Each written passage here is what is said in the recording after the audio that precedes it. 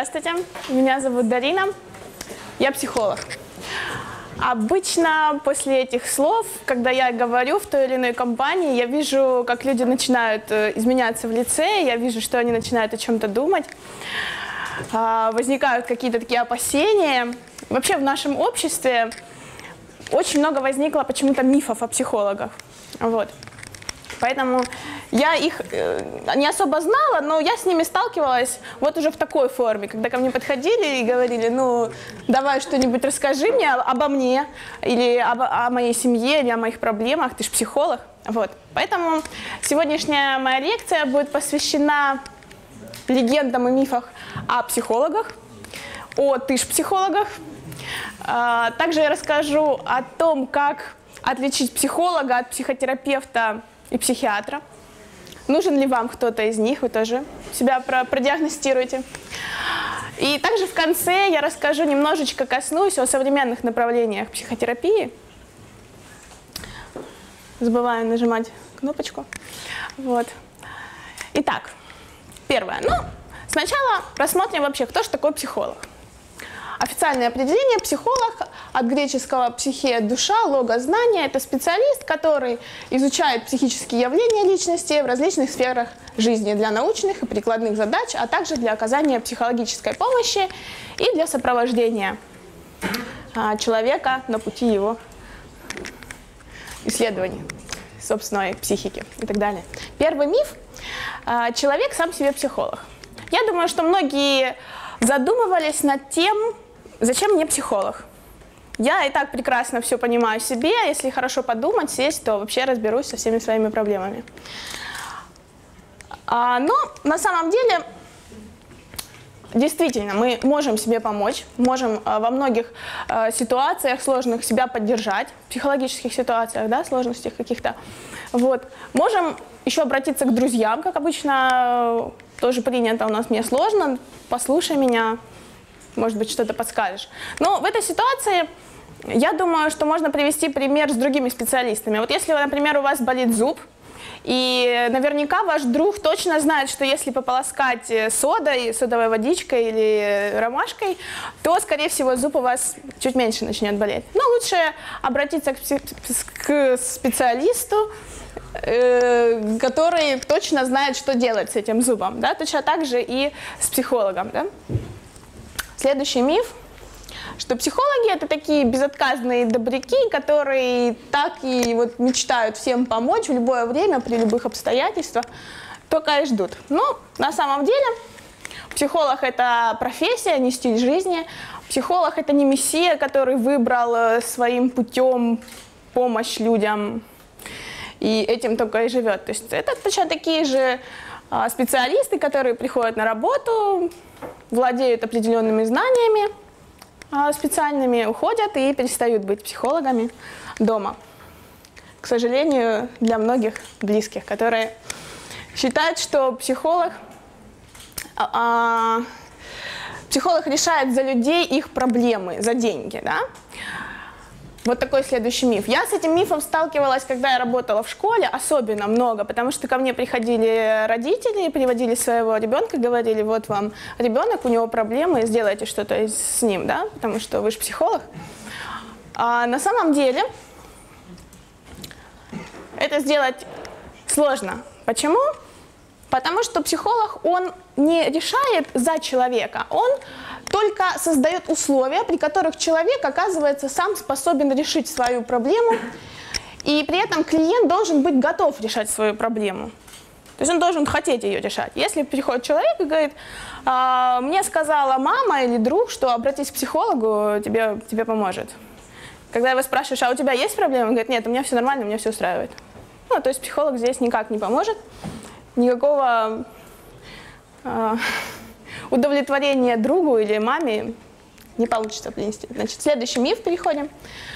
Это один из моих любимых мифов, потому что я с ним сталкиваюсь очень в семье, потому что считается, что если человек по образованию психолог, то у него все вообще хорошо в жизни.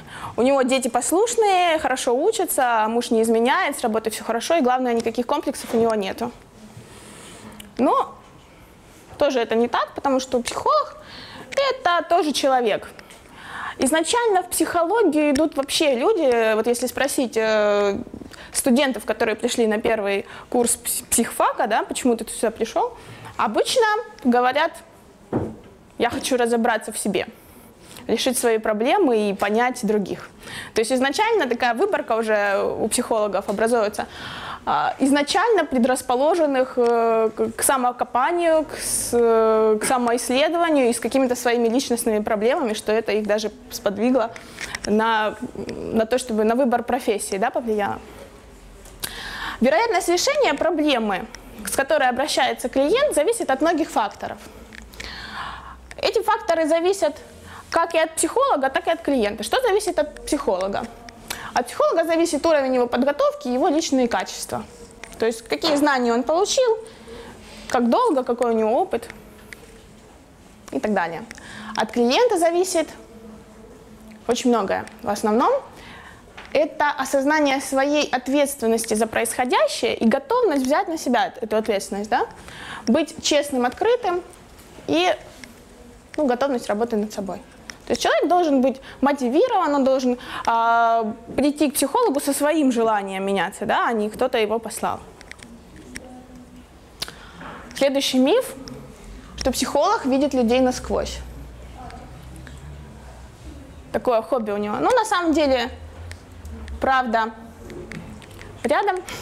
Он может где-то прогнозировать возможные реакции человека, но только в профессиональных целях, просто потому что ну, нет смысла. Зачем? Хотя на первых этапах, когда психолог получает образование, когда он только-только понимает, что вот, вот у тебя такой вот темперамент, у тебя такие вот свойства личности, так очень хочется, очень хочется начинающим психологам ну, причинить добро ближнему, рассказать о нем. И рассказать как плохое, так и хорошее, ну, в общем, всячески ему поведать о себе. И поэтому возникает такое ощущение, что вот все психологи, они вот такие ходят и экспериментируют. Нет, это на, на, начальный такой этап, когда психолог учится, действительно хочется поделиться своими открытиями. Переходим к следующему мифу, что к психологам ходят психи. Эм, ну, психолог он лечит нормальных людей со здоровой психикой. А, с нездоровой психикой обращается к другим специалистам. Обращение к психологу не является показателем слабости, то есть больше это говорит о том, что человек готов изменяться, готов менять свою жизнь к лучшему, осознанно и при этом э, берет на себя ответственность. Ну вот подытожим, кто такой обычный психолог и ты ж психолог. Э, обычный психолог вот такой вот требует деньги за консультации, сложные термины говорит, не хочет разбираться в твоих проблемах. В общем, такой скучный, бесполезный человек, меркантильный при этом. Ты же психолог, он такой помогает бесплатно, в любое время суток, дает бесплатные советы. С любым человеком сразу же находит общий язык. Ну, в общем, вот такой вот небольшой итог по мифам. Сейчас хочу рассказать о о том, как отличить психолога от психиатра, психотерапевта. Тоже очень много раз я слышала о том, что э, психотерапевт, психолог это одно и то же. Но если очень просто сказать, что все э, психоаналитики, психотерапевты, они являются психологами, но не все психологи психотерапевты. Если кратко так проанализировать, сравнить психолога, психотерапевта и психиатра, то вот если по одному слову, да, то психолог, он диагностирует. В основном он сидит в кабинете с тестами, и в конце прохождения вами какого-то теста он выдает вам рекомендации. Он ни в коем случае не лечит медикаментозно, он диагностирует. А, в отличие от психиатра. Психиатр – это врач, который проучился 5 лет в университете медицинском, потом еще несколько лет в ординатуре, и он в отличие от психолога, он лечит даже против воли. Иногда достаточно согласия э, близких родственников. То есть он может ставить диагноз, он выписывает медикаментозные какие-то средства лечения.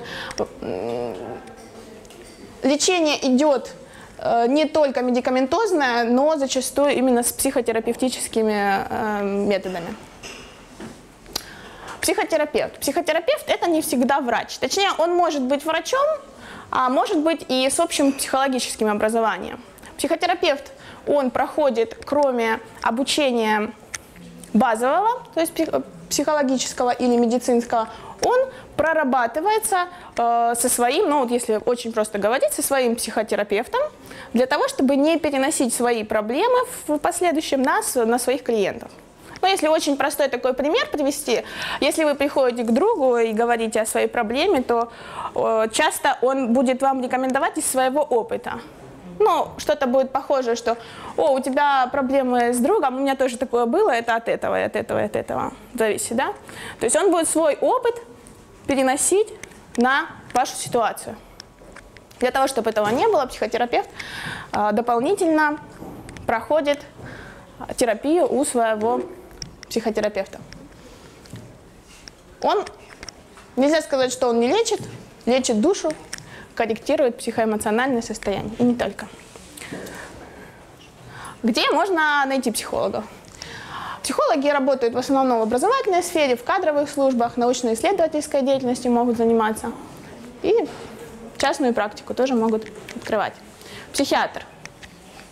А, психиатр работает, он врач, работает в психиатрической больнице, тоже может открыть частную практику. Ну и психотерапевт.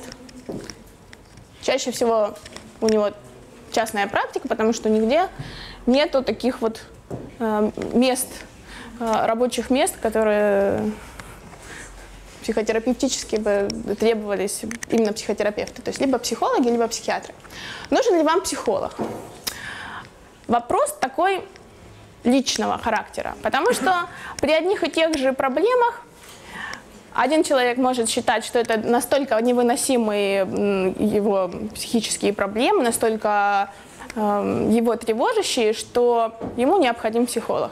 Другой человек, возможно, при таких же проблемах даже больше, может считать, что у него все нормально и он справляется. То есть вопрос это такой довольно э, личный, субъективный. статистика обращения к психологу. Вот если сравнить, сколько человек, какой процент людей э, к психологу приходит в Украине и в Америке, то на Украине это составляет примерно 12%. 10-12% э, процентов в нашей стране обращаются к психологу. В отличие от Америки, от 40%. Как вы думаете, почему такой большой, э, большая разница такая? Лучше жизнь стрессовые ситуации там Угу. Ритм жизни там люди доверяют, быстрее, быстрее. У нас такая спокойная, да? А? Какая? Там в Америке психологи квалифицированные. Ну, я выделила несколько причин, э, некоторые перекликаются с вами. То есть действительно разный уровень достатка. Психотерапевтические услуги, они не дешевые. И у нас просто даже если есть э, такая потребность, не всегда человек э, готов выделить деньги и пойти к психологу, психотерапевту, просто потому что это бывает дороговато для человека. Мы дружим. Вот такая причина. Мы действительно дружим по-разному это мое такое субъективное ощущение эм, причины обращения, не обращения к психологу, потому что у нас действительно в культуре как-то вот принято действительно больше делиться, больше открываться и быть более такие, такими друзьями, ну что ли, эмпатийными, поддерживающими. Вот один из таких. Причина следующая – страх. Эм, ну, страхи, они базируется на тех мифах, которые у нас есть в обществе, да, о том, какие психологи бывают, какие они, что к ним ходят психи, ну, в общем, те, которые мы перечислили, да, некоторые из них, что как, как меня будут воспринимать после того, как я обходил к психологу, да, то есть вот такие. Четвертая причина, что у нас в стране отсутствует принудительная консультация с психотерапевтом, то есть такая практика у нас отсутствует в основном, то есть а, в Америке, если произошло а, ну, какое-то правонарушение, человека обязывают пройти курс у психотерапевта. У нас такого нет. То есть э, в Америке, если ты проходишь курс психотерапии после какого-то незначительного там, преступления, э, могут даже не посадить в тюрьму. Да? То есть такое исправительное такие. Современные направления психотерапии. Это психоаналитическое направление, когнитивно-поведенческое, экзистенциально-гуманистическое. Это такие основные направления, которые, ну вот я сейчас вкратце о них расскажу, что и что. Первое психоаналитическое направление. Из, из этого направления возникло очень много современных психотерапевтических направлений, так сказать, дочерних. Цель этой терапии – отреагировать травму. То есть извлечение, извлечение травмировавшего переживания бессознательного, да, то есть что-то в детстве. Ну, я думаю, что многие слышали о том, что психоанализи, психоанализ это такая долгая, долгая практика, которая путем эм, ассоциации вытягивают какие-то воспоминания из бессознательного. И эти э, воспоминания так или иначе потом анализируются и приводят к осознанию и изменению сегодняшней жизни. Да? То есть это такая долгая, долгая практика психоаналитическая. То, что происходит сегодня, такие дочерние э, направления, так или иначе, тоже э, призваны выводить травму наружу через э, арт-техники какие-то, через рисунок, через работу с голосом, через танец, так или иначе. Когнитивно-поведенческое направление. Цель этой, э, этого направления психотерапевтического – это распознавание неадаптивных мыслей. Да? Базируется это, э, эта психотехника на многих э, исследований по, ну, в общем, бихевиоральных, то есть которые Скиннер, в общем, я думаю, что вы слышали, когда есть какой-то стимул, он действует на психику, и мы получаем какую-то реакцию. Если мы изменяем, э, изменяем вот здесь вот правило промежуточного убеждения, если мы можем изменить какое-то здесь убеждение, то мы из, изменим э, на выходе эмоцию или какую-то реакцию. То есть какие направления из этой ветви психотерапии вышли. Это и НЛП, и коучинг, то есть которые призваны переучить каким-то образом человека, ну, чтобы ему было комфортнее жить. Экзистенциально-гуманистическое направление психотерапии. Цель ее – это быть осознанным, быть осознанным в жизни, осознавать свои потребности и стремиться к самореализации. Вот на картинке здесь пирамида известная Маслоу, которая говорит о том, что в нач...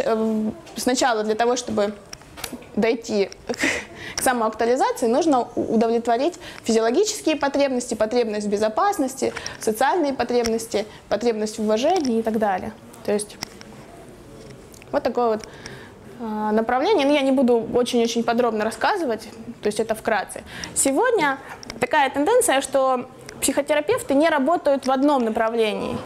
То есть, как правило, это несколько психотерапевтических направлений, э, психолог, психотерапевт э, подбирает для клиента то, что больше откликается, да, через что э, клиент легче может приблизиться к своему бессознательному, да, отреагировать, через какой канал. То есть таким образом подбирается э, техники. Вот. Ну, я очень рада, что я сегодня вам рассказала о наболевшем, о мифах ты ж психолога, немножечко рассказала о том, что, чем отличается психолог от психотерапевта. Я думаю, что вы определились, нужен ли вам кто-то из них. И большое спасибо за внимание. Если есть у вас вопросы.